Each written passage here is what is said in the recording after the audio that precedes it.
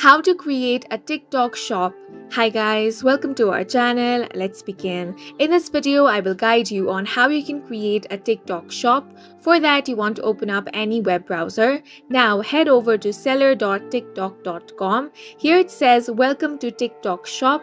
The first thing you want to do is select your region. So here you have Asia seller, Europe seller, and North America seller. Go ahead and select your country and click on the enter option. Now, if you already have an account, you can log in. If you do not have an account and want to create a TikTok shop, click on the sign up option. Now, on the sign up page, you want to enter your mobile number or email address and click on the continue option. Or you can also sign up using your TikTok account or sign up using your Google account. If you select your Google account, then you will have to choose your Google account from here. Once you click on this, here you want to click on the continue option.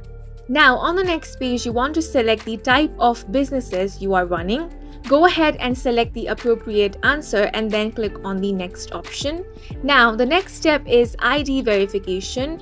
You can select either your US passport or US driver's license, then click on the upload option. Now from here you want to upload your document. The file must be less than 5 MB in JPG, PNG, JPEG or PDF format. Make sure the images clearly show all the information on your ID including signatures. Now once you have uploaded your document, click on the next option. Then from there follow the on-screen prompts and your TikTok shop account will be successfully created. And that's it for this video. If you found it helpful, please make sure to hit the like button and subscribe for more videos like this.